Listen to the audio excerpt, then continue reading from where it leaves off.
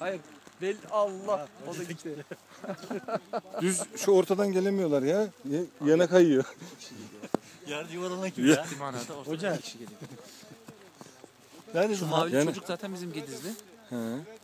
Üstün başarı belgesi almış. Askerde öğrenmiş o. Öteki iki mavili de hocalar zaten. Yani hocalar mavi giymiş bir nevi. Evet.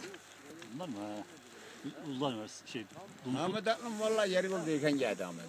Ben çok severim gitmiştir belki dedim.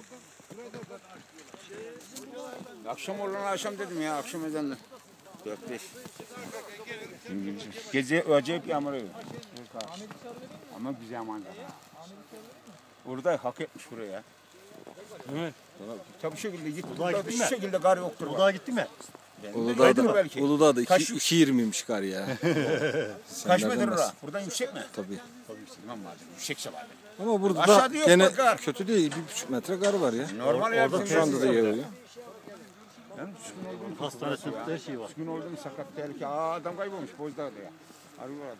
O onlar maceracı onlar, yürüyüşçü onlar. Yukarı da yok. Kar baktım azablı kar. Kar yok fazla da şey olmuş. Nasıl oluyor? Şey Ulan! Biz nasıl öğreneceğiz lan bu kaymağı böyle? Gel hocam gel gel. Kaymam